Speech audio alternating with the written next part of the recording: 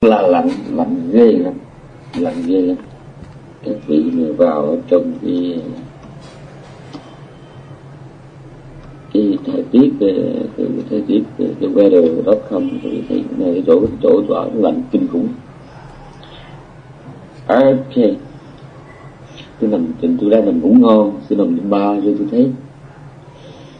Có phật tử là chở tôi đi dù quẹo của quanh như, như xe tải nó tông tôi nhìn mặt người máu không? Mà tôi thì chỉ đau ở miệng chút rồi giật mình vậy. Giật mình vậy thì, thì, thì vừa lúc đó là cái, cái alarm nó ngộ nó kêu, biết là chư thiên kêu mình dịch xuất pháp hay là do cái điền hay là do nó hút chặt mình thấy nếu mà chư thiên kêu cái đó thứ heo thứ vậy hoặc là hoặc là có ai đó họ đang ờ, nghĩ tới mình bằng cái tâm xanh hay sao đó. Ờ, thì đấy để cái tầm nhìn cái mặt người lái xe máu thôi à, Ok, hôm nay chúng ta học tiếp cái bài kinh gọi là Ma Nắp Thát. Dạ. À, tôi có được một cái phản hồi ừ, từ Phật tử trong râm á, người ta nói tôi tại sao mà cái chương này chúng tôi giảng không có kỹ bằng mấy chương khác. Thì có nghĩa là sao? Nghĩa là tôi chỉ liếc qua nội dung rồi tôi giảng, tôi không có chú thích từng chữ thì tôi có trả lời thế này là mấy chương đầu tiên là, là đầu tiên lần đầu quý vị phật tử phải làm quen với vô vô số những vấn đề mà tôi nghĩ rằng quý vị chưa có dịp ừ, để biết. Còn ca đã nghe rồi đã nghe chương trước rồi cho nên là chúng tôi chỉ nói nói phớt qua thôi. Thì có thể là những người mà nói ừ, góp ý với tôi đó có thể là họ không có theo dõi những chương trước. Yeah cho nên họ mới có cái thắc mắc như vậy. Nhưng mà đồng thời đó tôi nghe họ nói như vậy tôi thấy vui. Tôi vui ở chỗ là thì ra mình mới đi có một quãng đường ngắn thôi mà đã có nhiều cái vấn đề mà mình đã có dịp mình trình bày cho phật tử rồi. Uh-huh.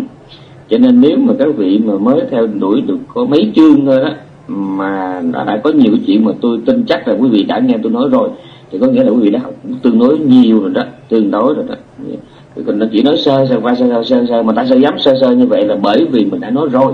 Ừ. lẽ ra các vị phải vui vui chỗ là thấy tôi sơ sài thì các vị phải hiểu tại sao tôi sơ sài. Ừ. Ờ, sáng nay mình học cái bài kinh ma nắp đá nói về một cái vị uh, bà la môn. Uh, nói về vị bà la môn có cái lòng kiêu ngạo. Ừ, có lòng kiêu ngạo cái chuyện này chúng ta thấy thường lắm. Ừ, thường lắm có biết bao nhiêu người đến với một cái đạo tràng với một cái pháp hội mà với một cái nội tâm ừ, ừ, coi như là tự đại tự thị tự mãn. Ừ, cái gì đó rất là bình thường. À, nhất là những người có chút ờ, học vị có chút uh, uh, chỗ đứng trong xã hội có chút tiền bạc kìa thì coi như là đi đâu cũng cũng là thấy mình là cái rúng của vũ trụ. Thì cái bài kinh này trong chú giải cũng không có nói gì đặc biệt cũng không có nói gì đặc biệt ở trong chỉ nói rằng là ông chỉ nói một chuyện chi tiết nhỏ thôi cái ông làm suy diễn có cái tên là ma nó thà đá là bởi vì ông này là ông coi trời bằng rung. Ma nó là ngã mạng đó. Ừ, ông này coi trời bằng rung. Có nghĩa là ông không có từng biết tôn trọng ai hết. Ừ, và trong đời tu của tôi tôi cũng có dịp gặp được một vài cư sĩ như vậy. Chẳng hạn như vũng tàu việt nam. Ừ, tôi không có nói tên chi. Ở vũng tàu việt nam tôi có biết một người rồi sau này tôi qua bên bên ngoài này là tôi cũng biết một vài người thì cũng có cái tính chống như vậy. Tức là họ mình không biết là họ dựa vào cái gì. À, tiền bạc thì họ cũng như bao nhiêu người khác cũng có của ăn của để nhưng mà đâu phải là là cái hàng cái số một của hành tinh đâu. Ừ. rồi học thức thì cũng có cái tú tài vậy thôi chứ cũng chưa có học đại học rồi còn ờ, địa vị xã hội nói chung là cái gì cũng nói theo kiểu cụ Nguyễn Du là cũng là, là gia tư nghĩ cũng thường thường mực trung. Ừ mà mắc cái chứng gì đó mà coi như nó kiêu ngạo không có tưởng nổi không có tưởng nổi. Thì hôm trước tôi nhớ có một bài kinh mà tôi đã giảng qua bây giờ tôi quên rồi tôi nhớ nội dung thôi. Thì khi giảng bài kinh đó tôi có nói qua một chuyện đó là mỗi người sinh ra trong đời đó sơ sẩy một chút thôi. Ừ. Thì coi như mình dễ ôm ấp nắm níu một cái điểm tựa nào đó để rồi mình thấy mình là cao siêu. Mà tôi quên mất cái bài kinh nào ừ, tức là cũng trong cái chương này nè. Ừ, ừ. Có nghĩa là mình hay, chẳng hạn như mình có thể tựa vào cái một chút nhan sắc của mình. Mình được người ai đó khen mái tóc dài đẹp quá ờ, của mắt của bà đẹp quá. Người ta khen ông cái mình ông thấy cái tướng ông ngon tướng ông đi thấy ngon lành đấy. Ờ, hoặc là khen mình có cái ờ, một chút có mấy đứa con giỏi chẳng hạn như vậy, chỉ vậy thôi. Ừ, là mình đã coi trời bằng tung mà thật ra đó, nghĩ mà cho nó tới nơi, tới chút một chút, thì tại sao vì a la hán không có ngã mạng? Nói theo thì đàm ấy thì tại vì ngài không còn ngã mạng. Ngài không còn cái tâm sở như ngài ngã mạng. Ừ. Ờ, tham tài tiếng ngã mạng không còn, thì ngài lấy cái gì mà ngài ngã mạng? Đúng, đó là nói theo mặt kỹ thuật. Nhưng mà nói theo theo cái mặt cảm xúc mà nói thì một cái con người mà biết rõ mình là ai, biết rõ những thứ mình có là gì và chung quanh này mình là cái gì đó, thì ngã là ngã chỗ nào. Mình biết rõ mình là cái gì, cái mình có là cái gì và chung quanh mình là cái gì. Thiên hạ là cái gì và cái thiên hạ có là cái gì, nếu mình biết rõ như vậy thì ngã mạng chỗ nào. Tất cả những người nào mà họ thấy rằng họ thấy rằng họ hay, hoặc là cái họ có là là hay đó, là chúng ta hoàn toàn có thể tin rằng trong cái thấy của người này chắc chắn có vấn đề, chắc chắn có vấn đề. Tôi có nhớ một cái câu chuyện rất là tào lao mà tôi e rằng trong rừng này nhiều bà con đã quên sạch và thậm chí không hiểu câu chuyện đó. Tôi nói có bị buồn mà tôi vẫn phải nói, bởi vì nếu mà có bị buồn nghĩa là có bị đang ngã mạng nha cái câu chuyện mà cái anh chàng đó mà mà anh cứ nghĩ anh là hạt thóc, rồi anh ăn rồi cứ chung trong tủ áo anh trốn. Các vị còn nhớ chuyện này không? Các vị còn nhớ chuyện này không? Anh nghĩ là hạt thóc, anh sợ bị gà ăn. Anh sợ bị con gà nó ăn cho nên anh mới cứ ăn rồi anh chung như tủ áo anh trốn. Thì gia đình mới thấy anh cứ ăn rồi cứ trốn tủ áo, biết anh cũng bình thường. Mới chở anh tới bệnh viện giao cho bác sĩ tâm thần bác sĩ mê là giải thích cho anh đủ điều rồi anh thấy anh sợ hãi cho anh, anh uống thuốc rồi dùng tất cả những liệu pháp thích hợp nhất để mà trị liệu cho một cái người tâm thần như ảnh. Và sau một thời gian dài thì ảnh ngon lành. Bác sĩ tiếp xúc với ảnh thì anh ngon lành mới cho anh về. Tới sau trở về được cái mấy hôm thì gia đình phải trở trở lại bệnh viện. Thì ờ, bác sĩ hỏi bây giờ sao? Bây giờ ờ, ông bảo bình thường mới cho ông về ông nói bình thường mới cho ông về mà bây giờ ông ông ông ông lại như cũ là sao? Trong đó thưa bác sĩ em, biết em là con người chứ em không phải là học thông. Nhưng mà em sợ là mấy con gà nó không biết cho nên em vẫn tiếp tục sợ. Tôi nó nó, nó thâm thúy nó sâu sắc ghê lắm. Tức là cái ông này này buổi đầu là ổng là người có vấn đề về về thần kinh về tâm thần. Ổng nghĩ rằng ổng là thấp ổng sợ mấy con gà nó ăn nhưng mà sau đó ông được bác sĩ giải thích đủ điều hết nhé ổng hiểu ra đúng ổng là con người chứ không phải hạt thóc các vị còn nghe rõ không? Các vị còn nghe rõ không? À, à, thì thì thì coi như là là là là là ông ông ông được giải thích rồi. Nhưng mà trong lòng ông nó vẫn có điểm bất an cho nên ông biết phần ông á là không phải hạt thấp nhưng dáng ổng như vậy cái hình dáng hạt thóc ra làm sao? Ông chỉ so cái hình dáng thôi. Thì làm sao ổng là hạt thóc được? Đó là điều thứ nhất. Điều thứ hai nữa, cái trọng lượng của của ổng và trọng lượng của con gà nó trên lạnh nhau bao nhiêu? Các vị thử tưởng tượng. Cho dầu ổng có tròn do như là cái hạt thóc đi nữa, thì cái trọng lượng ổng mấy chục kilo mà con gà là bao nhiêu kilo? Làm sao con gà có thể nuốt được ổng? Vậy mà ổng vẫn có cái ngờ ngợ, ổng có cái lan man ổng vẫn có cái mơ mình học đạo cho đã, về duyên sinh, về duyên hệ, về lộ tâm, về lộ sắc, học về tam tướng học về nhân quả. Rồi đi học thiền việt nam, thiền miến điện, thiền thái lan học lung tung hết. Nhưng mà thật ra trong đó lòng của mình mình vẫn có cái ngờ ngợ ngờ ngợ ngờ ngợ ngờ ngợ nào nói sai được. Chư Phật không thể nào nói sai được. Đúng con là hạt con biết. Nhưng thế tôn mình đã niết bàn rồi, chung quanh mình không còn hiền thánh nữa. Chung quanh mình còn thiếu trời ơi không? Tại khi mình chung chạ gần gũi với họ lâu ngày mình cũng bị nhiễm. Bản thân mình đã là một đống phàm tâm rồi. Rồi chung quanh mình cũng có cũng không thấy ai là người sống buông xả. Thế là mình quay trở lại quay trở lại cái phàm tâm phàm tánh của mình. Ừ uh-huh. chứ chứ tôi tin chắc một điều rồi là với cái phàm tâm ngay nè mình ở gần đức phật ở gần các bậc hiền thánh hoặc là ở gần cái người mà một tánh mà, mà buông xả đó thì cũng đỡ lắm cho nên trong kinh mới nói là ở trong chú giải kinh đức niệm xứ nói là muốn trao dồi thất giác chi muốn trao dồi thất giác chi nào thì phải ở gần cái người mạnh về cái giác chi đó muốn trao dồi niệm giác chi thì phải ở gần cái người chánh niệm thuần cố muốn trao dồi cái hỷ giác chi thì phải ở gần cái người có cái hỷ giác chi thuần cố và dĩ nhiên ở gần họ mà bản thân mình đã có những cái trao dồi khác nữa chứ không phải không?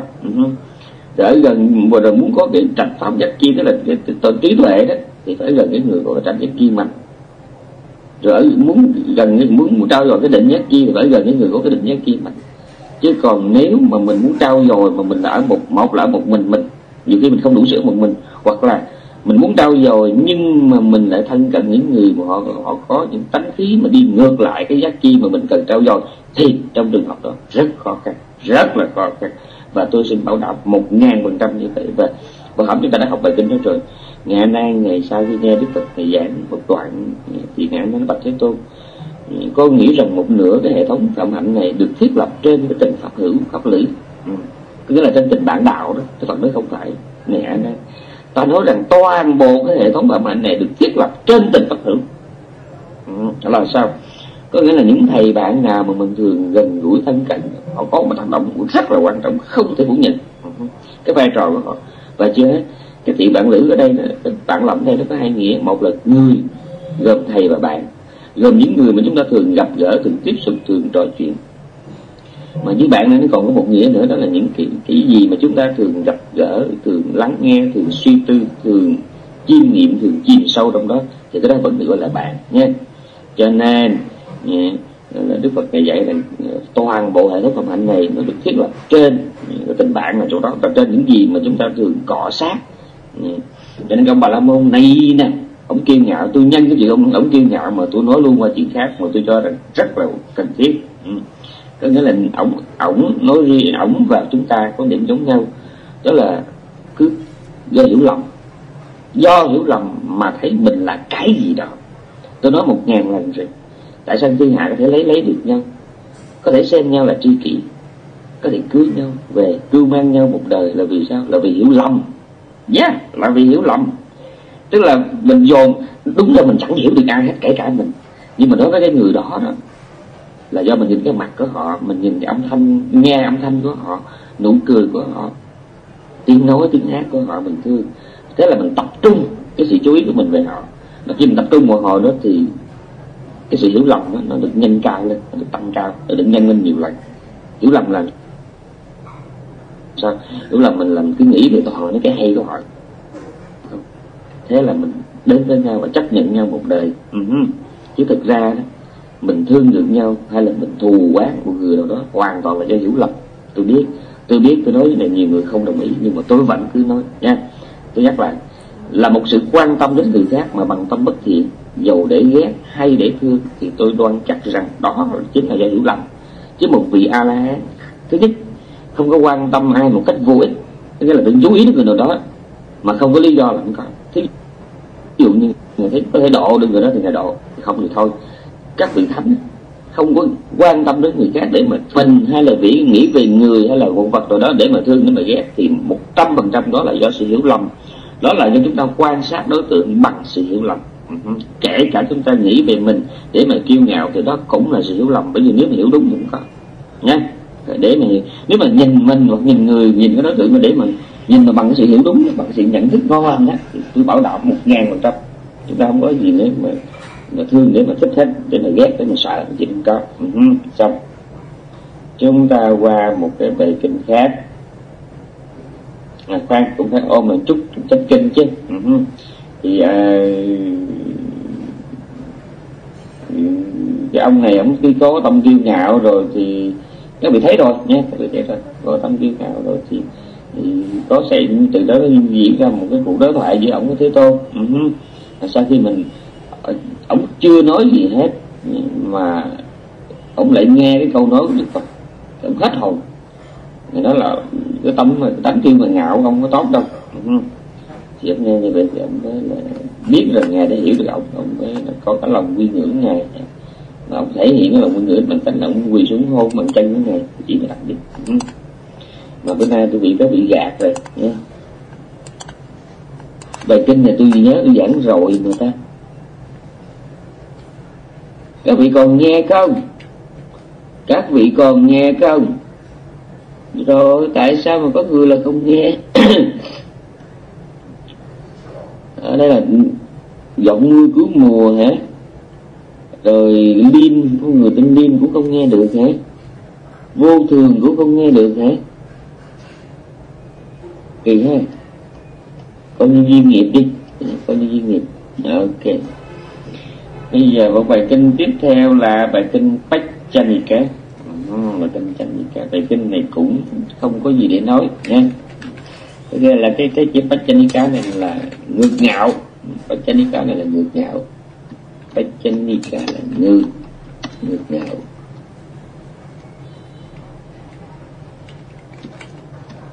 Ừ, bách chanika là ngược ngạo. Ở đây ai mà mà mà, mà, mà học về duyên hệ đó học về 12 viên nhân viên trưởng viên cảnh viên rồi đó thì có vị có nhớ cho nên là ờ, bách chế giá trong đó nó có mỗi một cái duyên nó có ba phần. Phần một á, là bách chế giá có nghĩa là năng duyên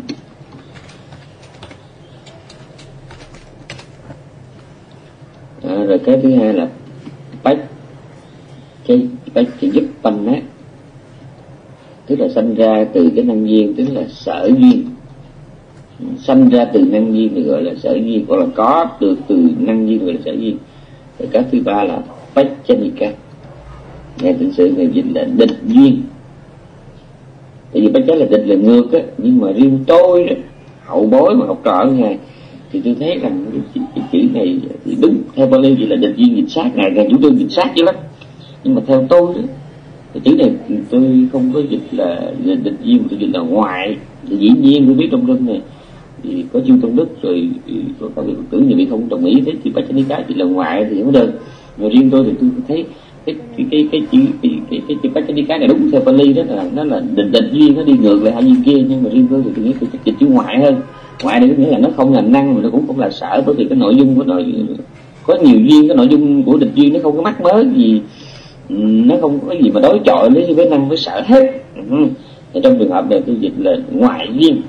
Bách chánh cặp chỉ là ngoại duyên nghĩa là không năng không sở. Ừ. À, chữ chữ D mà đây tôi đang không đánh dấu được nha. Ok cảm ơn. À, có nhiều khi các bạn thấy tôi giống như tôi lạc đề đó nhưng mà đây tôi nhân cái này tôi cho các bạn biết thêm chuyện nữa. Ừ.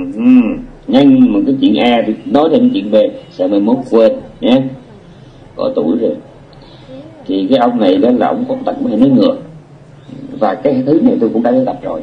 Nha yeah, tôi cũng đã gặp rồi. À, tôi cũng gặp rồi. Tức là không biết cái cái gì hết mà cứ đợi người ta nói ra là nói ngược hoặc là có một loại nữa là không biết gì hết. Dạ, nhưng mà ngồi chung với mình để mình khác hỏi thì không trả lời mình cứ đợi mình nói trước. Rồi bắt đầu mình lấy cái của mình nó mới tô sửa đắp đổi được thêm làm cái của riêng. Thứ là tôi cũng cứ gặp luôn hỏi thì không chịu nói, mà cứ đợi người ngồi kế bên á, họ trả lời xong rồi mới dựa vô với người ta đó, đúc kết khôn lắm. Chờ ba, bốn ông nói xong rồi bắt đầu mới gom có mấy ông lại là của riêng. Thì dĩ nhiên mà nói thẳng ra thì phật tử thì họ nhìn vô đó là cứ phá cái ông cứu thì ông cứu thì ông cứu nói là dễ đẩy mình chết chết luôn nha ừ. ok, rồi trường hợp, bài kinh tiếp theo là bài kinh nawa kamika ừ. nawa kamika nawa kamika cái chữ nawa cá này nó có nghĩa là xây xây dựng. Xây dựng. Nha nó quá là mới. Nó quá là mới.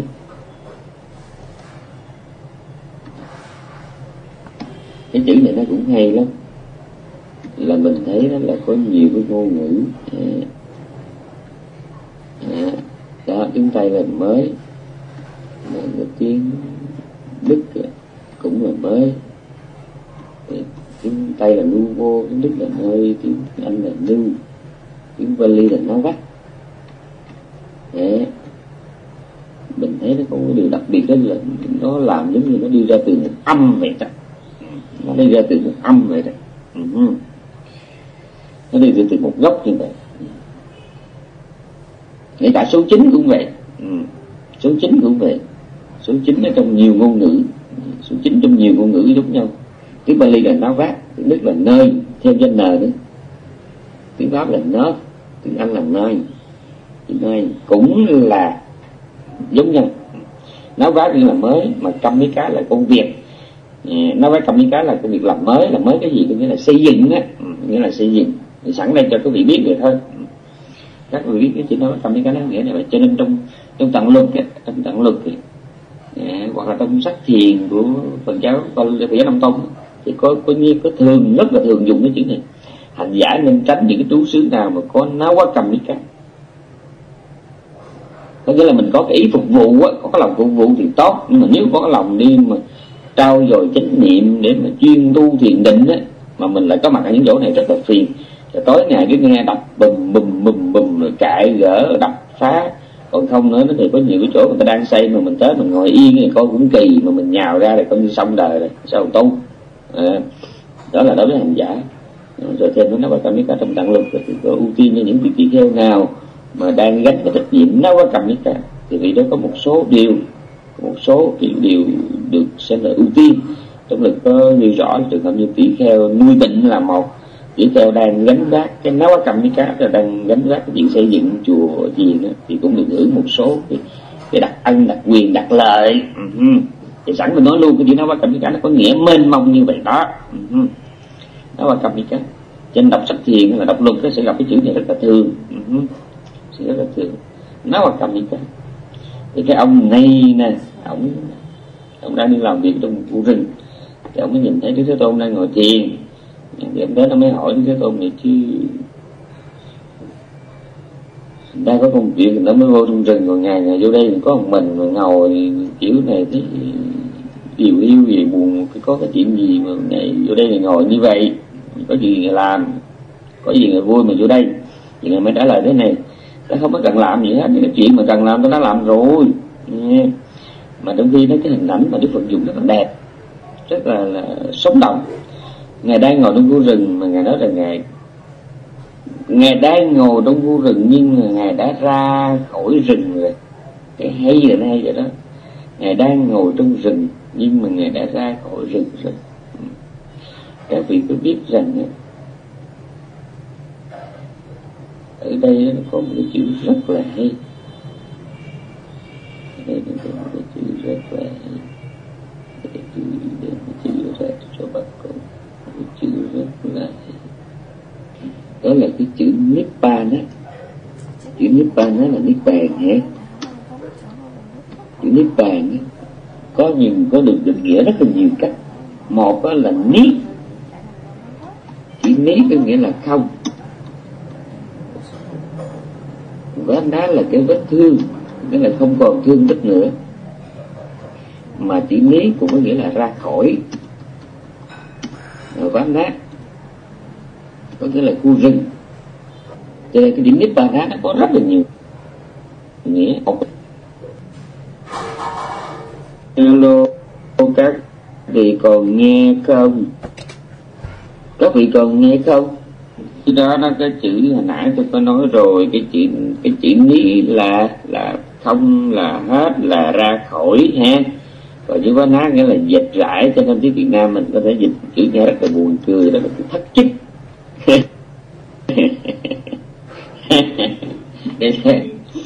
tôi biết tôi biết trong tâm này có gì.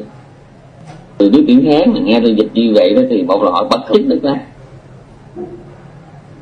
Nó cái tỷ có một cách viết c h u c cái số sắc ở trong cái tiếng hán đó thì cái chữ chức bây giờ tôi chúng tôi ra một phút ha tôi, tôi ra râm một lát rồi rồi vào xem sao. Vậy vậy tôi bây giờ tôi ra một một chút rồi tôi đỡ lại nhé.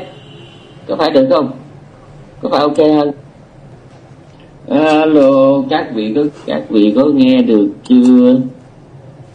Các vị có nghe được chưa? Rồi xong luôn. Dạ rồi. Cảm ơn. À, thì đức phật mới trả lời thế này cái ý đó là ta ngồi, các vị mình nhìn cái đức phật nhắc tới nhắc lui rất là nhiều lần cái chữ quán nát.